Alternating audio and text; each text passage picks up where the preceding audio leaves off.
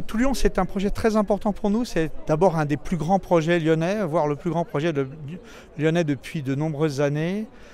On est situé dans un endroit juste incroyable, c'est-à-dire à l'entrée de la gare, avec une qualité de site qui est juste exceptionnelle, qui est un, un, endroit euh, merveilleux pour euh, faire du bureau, faire de l'hôtel, faire du commerce, ce qu'on est en train de faire sur Toulion.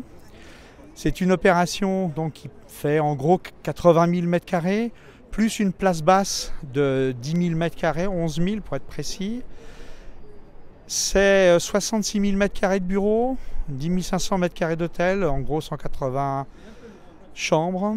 Et euh, on a surtout refait toutes les circulations pour sortir de la gare de la Pardieu, avec quelque chose d'extrêmement complexe, euh, dans lequel on fait une place basse qui va doubler le niveau de circulation, on agrandit la place, on crée des parkings souterrains, on fait des vélos, des garages à vélos, on, enfin bref, on fait un projet complètement urbain euh, et avec un projet euh, immobilier.